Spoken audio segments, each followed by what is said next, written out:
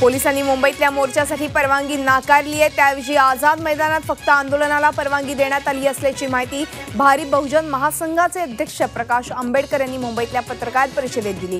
कोरेगाव भीमा दंगल प्रकरणी संभाजी भिडे यांच्या अटकेच्या मागणीसाठी प्रकाश आंबेडकर आज मुंबईत भायखळा ते आझाद मैदान असा मोर्चा काढणार आहेत. मात्र परीक्षा आणि दैनंदिन व्यवस्थेवर याचं या येणाऱ्या ताणाचं कारण देत पोलिसांनी या मोर्चाला परवानगी नाकारली आहे. दरम्यान मोर्चामध्ये सामील होण्याआधीच नागरिक ठिकठिकाणाहून निघाले आहेत. तर मोर्चा दरम्यान गोंधळ निर्माण झाल्यास त्याला पूर्णपणे सरकार जबाबदार असेल असा इशाराच प्रकाश आंबेडकर यांनी दिला आहे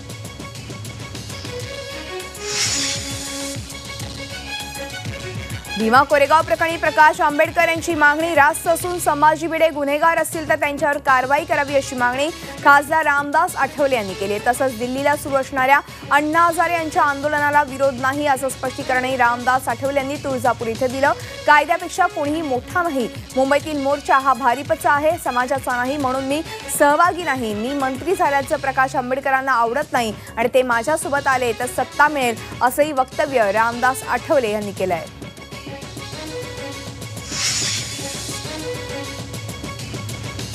सरकारी अधिकारी आणि राजकारण्यांच्या कामाचा नेहमीच पंचनामा करणारे केंद्रीय मंत्री नितीन गडकरींनी आता मंत्रालयातल्या कामकाजाचे वाभाडे काढले आहेत विकासाची प्रक्रिया गतिमान झाली आहे मात्र मंत्रालयातला प्रत्येक माणूस नोचा ठप्पा घेऊन बसल्याचा टोला गडकरींनी अधिकाऱ्यांना लगावलाय. चालत्या गाडीच्या चाकात खेळ घालून पंक्चर करण्याची वृत्ती मंत्रालयात असल्याचाही टोला त्यांनी लगावलाय. पोलीस दलात गेल्या तीन वर्षात तीस हजार विविध पदभरती केली असून पोलीस विभागाला शंभर टक्के जागा भरण्याची परवानगी दिल्याचं मुख्यमंत्री देवेंद्र फडणवीस यांनी यावेळी सांगितलं. नागपूर पोलीस आयुक्तालयाच्या नवीन इमारतीच्या भूमिपूजन प्रसंगी ते बोलत होते. अर्थसंकल्पीय विधिमंडळ अधिवेशनाच्या कामकाजाचा हा शेवटचा आठवडा आहे. शुक्रवारी विधानसभेतील मुख्यमंत्र्यांच्या विश्वासदर्शक खेळीचे पडसाद आज विधिमंडळाच्या कामकाजात उमटणार आहेत. विधानसभेत विश्वासदर्शक ठरावाच्या मुद्द्यावरून विरोधक आक्रमक झालेले बघायला मिळतील. तर संख्याबळ जास्त असलेल्या विधान परिषदेमध्ये विरोधक परतफेड करण्याची शक्यता आहे.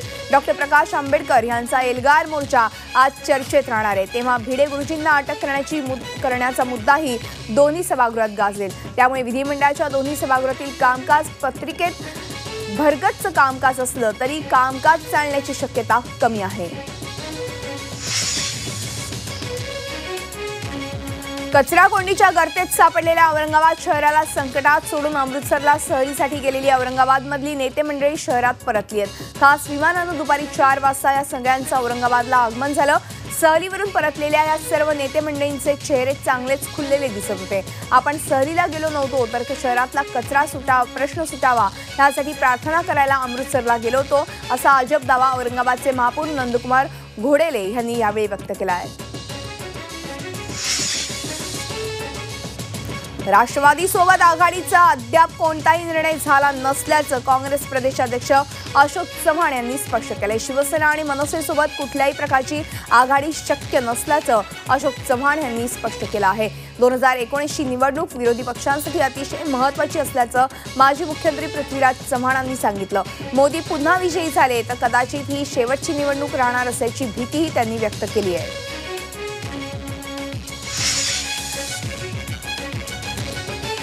आपले पाय जमिनीवर असून आपली ताकद कमी आहे. त्यामुळे पंतप्रधान होण्यासाठी विचार करू शकत नाही पण परिवर्तन होण्यासाठी समविचारी पक्षांनी एकत्र येणं गरजेचं आहे आणि त्यास आमची साथ असेल असं मत राष्ट्रवादीचे अध्यक्ष शरद पवार यांनी व्यक्त केलंय. शिवाय अण्णा हजारे यांच्या आंदोलनावर भाष्य करणं टाळत त्यांनी टोला लगावला आहे राज्यात उन्हाची तीव्रता वाढत चालली. आहे अनेक शहरात पारा चढता आहे. कुलाबा वेधशाळेनं वर्तवलेल्या अंदाजानुसार आजही मुंबई आणि उपनगरात उष्णतेची लाट कायम राहणार आहे.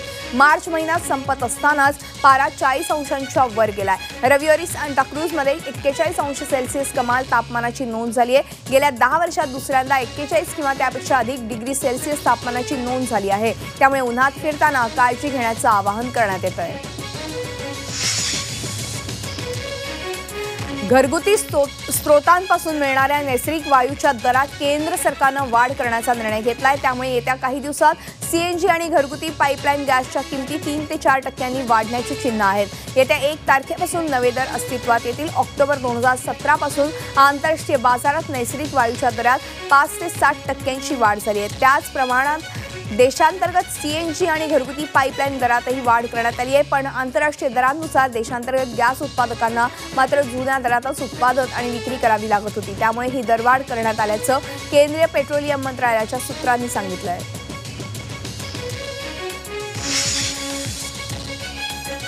उजनी धरणातून सोलापूरसह नदीकाठच्या गावांना पिण्यासाठी पाणी सोडण्यात आलं. बारा दरवाजातून सध्या पंधरा हजार क्युसेकनं पाणी विसर्ग सुरू आहे. सध्या उजनी धरणात एकसष्ट पूर्णांक एकोणसत्तर टक्के पाणीसाठा आहे. यावेळी जवळपास पाच टीएमसी पाणी सोडण्यात येणार असल्याचं उजनी विभागाकडून सांगण्यात आलं. सोलापूरच्या औंस भर बंधाऱ्यात आणि पाणी पोहोचण्यास अजून दहा ते बारा दिवस लागणार असल्यानं पाण्याचा काटकसरीनं वापर करण्याचं आवाहन करण्यात आलं आहे तर उजनीतून पाणी सोडण्यात आल्यानं प्रशासनाच्या वतीनं नदीकाठच्या गावांना सतर्कतेचा इशाराही देण्यात आला आहे. चंद्रपुरात सूर्य आग ओकू लागलाय. शहर आणि आसपासचं तापमान चाळीस डिग्रीहून अधिक वाढलंय. वाढत्या तापमानाचा परिणाम जंगलाच्या वणव्यात होत आहे. चंद्रपूर शहराच्या जवळ लोहारा जंगलात लागलेल्या आगीनं वन्यजीव संकटात सापडले असून अद्याप वनविभागाचा एकही कर्मचारी या भागात फिरकलेला नाही. वाढत्या तापमानाची झळ जंगलाला बसतीये. लोहारा जंगलात वणवा पेटला असून मोठं जंगल क्षेत्र या वणव्यात होरपळून निघालंय. दरवर्षी उन्हाळ्यात लागणाऱ्या या वणवा विझवण्यासाठी योग्य यंत्रणा आणि प्रशिक्षित मनुष्यबळ नसणं हीच मोठी चिंतेची बाब ठरतीये. सोन्याच्या भावात प्रति दहा ग्रॅम पंच्याऐंशी रुपयांची वाढ होऊन एकतीस हजार आठशे पस्तीस रुपयांवरती सोन्याचा भाव पोहोचला जागतिक पातळीवर भावात आलेली तेजी आणि स्थानिक सराफांकडून वाढलेली खरेदी यामुळे सोन्याला झळाळी आली आहे औद्योगिक क्षेत्र आणि नाणी तयार करणाऱ्यांकडून मागणी वाढल्यानं चांदीचा भावही प्रति किलो पन्नास रुपयांनी वाढलाय. तो एकोणचाळीस हजार सहाशे रुपयांवर पोहोचला. अमेरिका आणि चीनमध्ये युद्धाच्या भीतीनं डॉलरमध्ये घसरण होतीये. त्यामुळे सुरक्षित पर्याय म्हणून सोन्याकडे गुंतवणूकदारांचा रोख वळला आहे.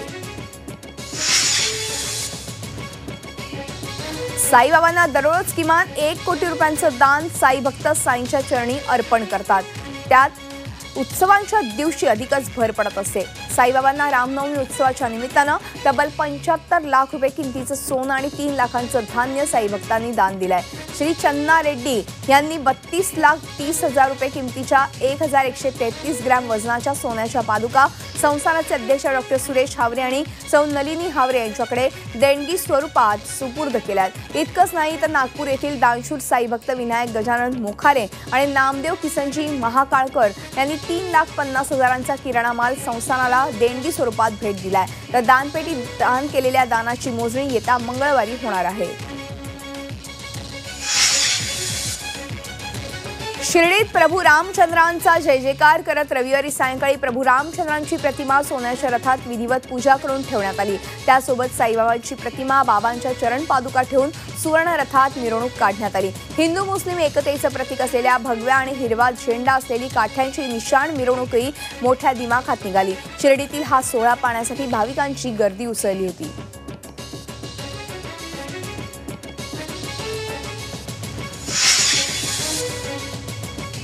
मुंबई विद्यापीठाच्या सिनेट निवडणुकीसाठी सरासरी अडुतीस अडतीस टक्के मतदान झालंय. मुंबई रायगड रत्नागिरी सिंधुदुर्गसह त्रेपन्न केंद्रांवर मतदानाची प्रक्रिया पार पडली आहे यात एकूण बासष्ट हजार पाचशे एकोणसाठ पदवीधर मतदारांपैकी चोवीस हजार एकशे अडुसष्ट मतदारांनी मतदान केलंय.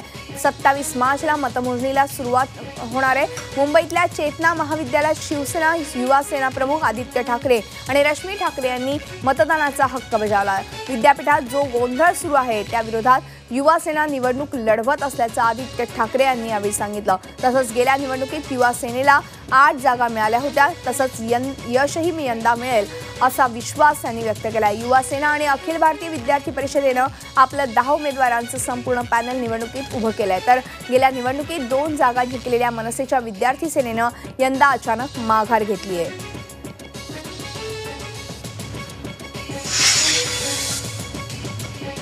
हिंगोलीच्या वसमत तालुक्यातल्या म्हातारगाव येथल्या शेतीला वीज पुरवणारं रोहित्र पाच महिन्यापासून जळालेलं आहे. त्यामुळे अनेक शेतकऱ्यांची हाताच्या फोडाप्रमाणे जोपासलेली पिकं वाळून लागली आहेत. विजेअभावी वाळत असलेली पिकं दाखवण्यासाठी महावितरणाच्या अभियंत्याला शेतावर घेऊन गेलेल्या शेतकऱ्यांवर हिंगोली पोलिसांनी अपहरण आणि शासकीय कामात अडथळा आणल्यासारखे गंभीर गुन्हे दाखल केलेत. त्यामुळे शेतकरी हतबल झाले आहेत. शेतकऱ्यांनी जगावं की मरावं असा सवाल या निमित्ताने आता उपस्थित होतोय.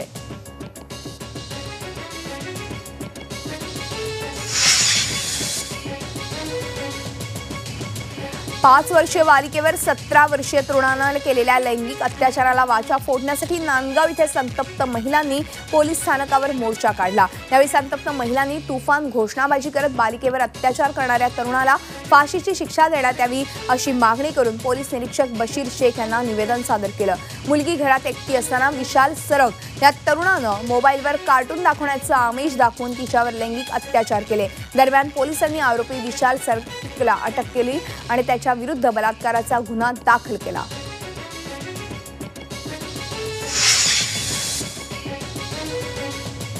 पिंपरी चिंचवडमध्ये भटक्या कुत्र्यांनी केलेल्या हल्ल्यात एका पाच वर्षीय बालकाचा मृत्यू झाला. ही घटना माणमध्ये घडली आहे. साहिल भुट्टो अन्सारी असं हल्ल्यामध्ये मृत्युमुखी पडलेल्या दुर्दैवी बालकाचं नाव आहे. पिंपरी चिंचवड जवळच्या मोहितेनगर भागात अन्सारी कुटुंब राहतं. साहिल भुट्टो अन्सारी हा चिमुरडा घराच्या बाहेर गेला आणि त्याचवेळी पाच ते सहा कुत्र्यांच्या टोळक्यानं त्याच्यावर हल्ला केला. त्याच्या कमरेचे लचके कुत्र्यांनी तोडले. त्याच्या आई वडिलांना साहिलला मानच्या प्राथमिक आरोग्य केंद्रात दाखल केलं.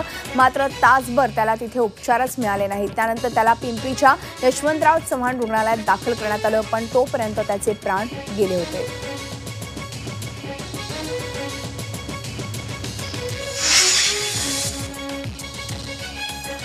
नाशिक जिल्ह्यामधल्या सटाणा तालुक्यातील एक गावात गर्भपातास नकार देणाऱ्या विवाहितेला पेट्रोल ओतून पेटवून दिल्याची घटना घडली आहे. रुपाली कुमावत असं या पाच महिन्यांच्या गर्भवती महिलेचं नाव असून ती सुमारे पंचावन्न टक्के भाजली आहे. तिच्यावर नाशिकमधल्या खासगी दवाखान्यात उपचार सुरू आहेत. रुपालीला मूल होऊ देण्यास तिचा पती विलास कुमावतचा विरोध होता आणि त्यानं तिला गर्भपात करायला सांगितलं होतं. मात्र वारंवार सांगूनही ती ऐकत नसल्यानं विलासनं भावाचा भावाच्या मदतीनं त्याला जबर मारहाण तिला जबर मारहाण करत अंगावर पेट्रोल टाकून जाण्याचा प्रयत्न केला. पोलिसांनी विलास कुमावत त्याचा भाऊ तसंच वडिलांवर शारीरिक आणि मानसिक छळ तसंच हत्येचा प्रयत्न केल्याप्रकरणी गुन्हा दाखल केला आहे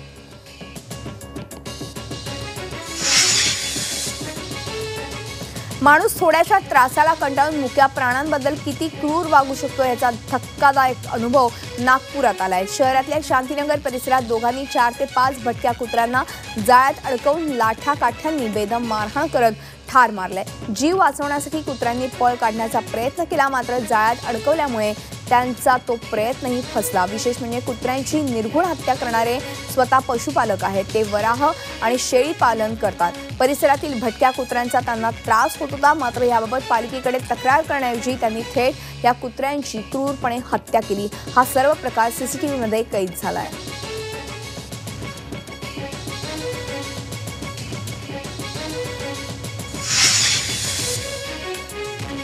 शेतीला पूरक जोडधंदा म्हणून तांबडेमळा इथे शेतकरी संदीप भोर आणि राजेंद्र वाळके यांनी एक वर्षापूर्वी पंधरा लाख रुपये खर्चून शेळीपालन व्यवसाय सुरू केला होता. त्यातून त्यांना कसंबसं दोन पैसे मिळवत होते. मात्र रविवारी पहाटे शेळ्यांच्या गोठ्यावरती पाच ते सहा लांडग्यांच्या कळपानं हल्ला करून तब्बल अठरा शेळ्या जाग्यावरच जागेवरच ठार केल्या. तर आठ शेळ्या गंभीर जखमी झाल्यात. यामध्ये भोर आणि वाळके यांचं नुकसान झालंय. पशुवैद्यकीय अधिकारी आणि मंचर वनविभाग वनपालन यांनी घटनेचा पंचनामा केला आहे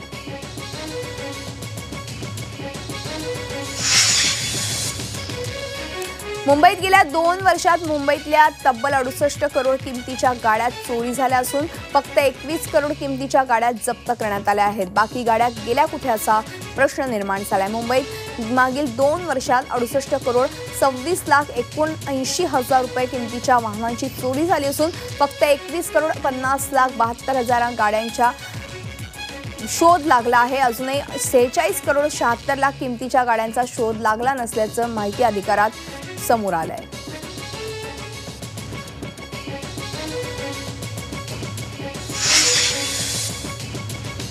मुंबई वांद्रे वरळी सी लिंकवरील प्रवास आता महागणार आहे. मुंबईकरांना टोलसाठी जादाचे पैसे मोजावे लागतील. एक एप्रिलपासून नवे दर लागू करण्यात येतील. कारधारकांना एक एप्रिलपासून एका बाजूनं साठ ऐवजी सत्तर रुपये मोजावे लागतील. तर दोन्ही बाजूच्या प्रवासासाठी नव्वद ऐवजी आता एकशे पाच रुपये मोजावे लागणार आहे. मासिक पासाच्या दरातही मोठी वाढ करण्यात आली आहे. मासिक पासचे दरही तीन हजारांवरून साडेतीन हजार रुपये करण्यात आले त्यामुळे आता मुंबईकरांना वांद्रेवरळीचा प्रवास महाग ठरणार आहे.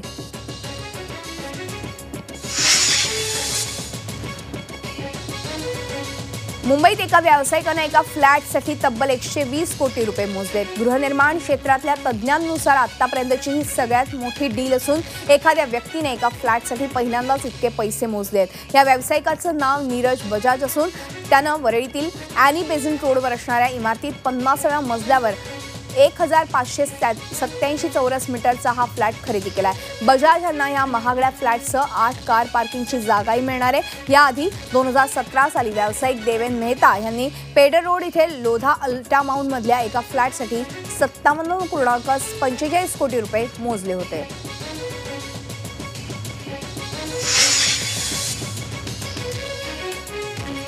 धुळे जिल्हा कृषी विभाग आणि कृषी तंत्रज्ञान व्यवस्थापन यंत्रणेतर्फे धुळे शहरातील नेताजी मैदानात भव्य कृषी महोत्सवाचं आयोजन करण्यात आलं आहे. केंद्रीय मंत्री डॉक्टर सुभाष भामरे यांच्या हस्ते या कृषी प्रदर्शनाचं उद्घाटन करण्यात आलं. यंदा प्रथमच कृषी विभाग मार्फत धान्य महोत्सवाऐवजी कृषी महोत्सव भरवण्यात आला आहे. चार एकर जागेवर भरवण्यात आलेल्या या प्रदर्शनात दीडशेपेक्षा अधिक स्टॉल्स लावण्यात आले शेती उपयोगी नवीन यंत्र सिंचन प्रणाली पंप तसंच विविध शेतीचे साहित्य मांडण्यात आले चार दिवस चालणाऱ्या कृषी महोत्सवात सेंद्रिय शेती प्रमाणीकरण जलयुक्त शिवार अभियानाची यशस्वीतता शेतीमालाचे क्लिनिंग ग्रेडिंग याविषयी माहिती देण्यात येणार असल्याची माहिती संयोजकांनी दिली आहे.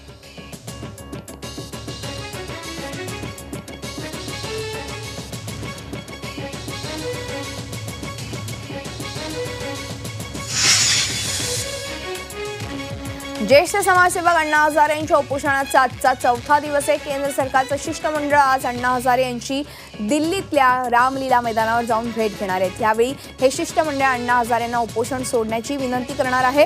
राज्यातील मंत्री गिरीश महाजन केंद्र सरकारच्या या विशिष्ट मंडळात असतील. त्यामुळे आता या भेटीकडे राजकीय जाणकारांचं लक्ष लागलं आहे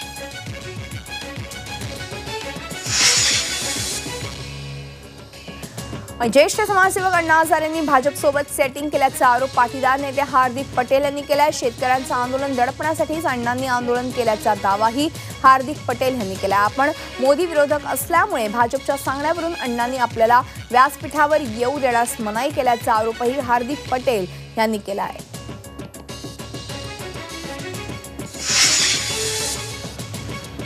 गेल्या काही दिवसांपासून देशभरातल्या शेतकऱ्यांमध्ये सरकार विरोधात असंतोष वाढतोय. या पार्श्वभूमीवर पंतप्रधान मोदी यांनी बेचाळीसाव्या मन की बात मध्ये शेतकरी आणि कृषी प्रश्नांचा आवर्जून उल्लेख केला. शेतकऱ्यांच्या शेतीमालाला योग्य मूल्य मिळावं यासाठी कृषी बाजारात सुधारणा करण्याचं काम सुरू असल्याचं मोदींनी सांगितलं. शेतीमालाला उत्पादनापेक्षा दीडपट अधिक हमीभाव यासाठी प्रयत्नशील असल्याचं मोदींनी म्हटलंय. तसंच मेक इन इंडियासाठी डॉक्टर बाबासाहेब आंबेडकर प्रेरणास्थान असल्याचं मोदी म्हणाले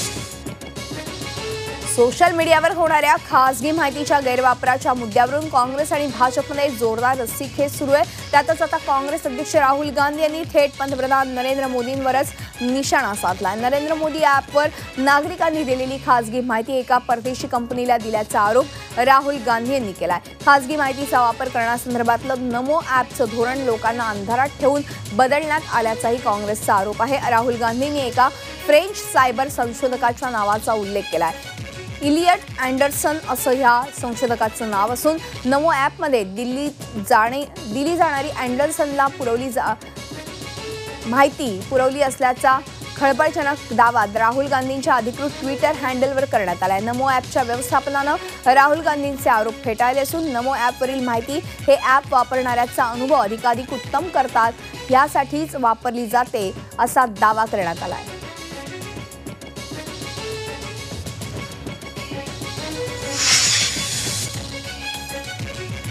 भारतीय क्रिकेटपटू मोहम्मद शमीच्या कारला डेहराडूनमध्ये अपघात झालाय. डेहराडूनहून दिल्लीला येताना त्याच्या कारला ट्रकनं जोरदार धडक दिली आहे आणि त्याच्या कारला अपघात झाला. या अपघातात शमीच्या डोक्याला दुखापत झाली आहे. सध्या डेहराडूनमधील रुग्णालयात त्याच्यावरती उपचार सुरू आहेत. दरम्यान पत्नी हसीन जहानं लावलेल्या आरोपांमध्ये बीसीसीआयकडून त्याला क्लीन चिट मिळाली आणि त्याचा आय पी एलमध्ये खेळण्याचा मार्ग मोकळा झाला होता.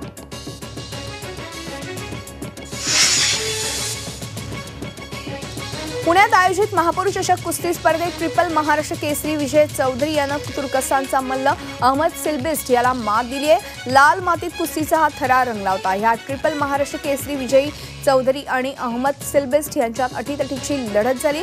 डाव प्रतिडाव टाकून दोन्ही मल्लांनी एकमेकांना चित करण्याचा पुरेपूर प्रयत्न केला.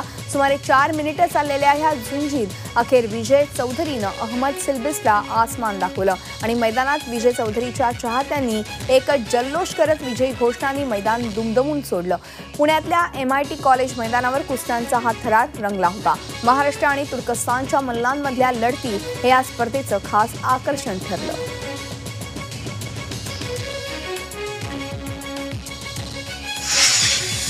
झी चोवीस तास. रहा एक पाऊल पुढे.